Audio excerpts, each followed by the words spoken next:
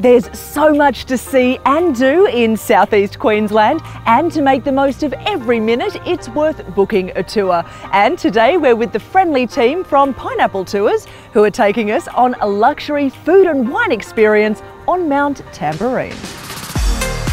A typical premium guided tour will pick you up from your accommodation and take you to boutique wineries for a taste test of some of the region's finest wines.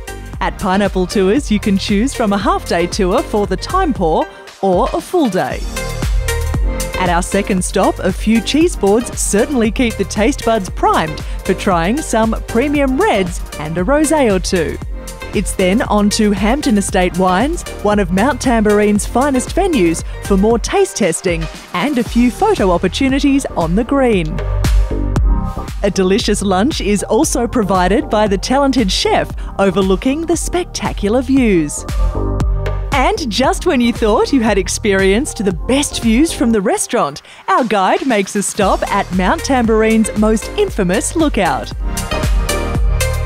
It's back on board the charter bus to one of Mount Tamborine's finest distilleries.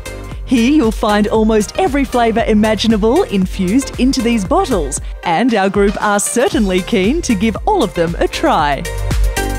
Now, the food and wine experience doesn't stop there. Our final stop is into the main street of Mount Tamborine to visit a specialty fudge shop. There are so many types of tours to choose from that include regions such as the Gold Coast, Brisbane, and Byron Bay. Make sure you visit their website to explore the many different types of experiences that Pineapple Tours can bring you.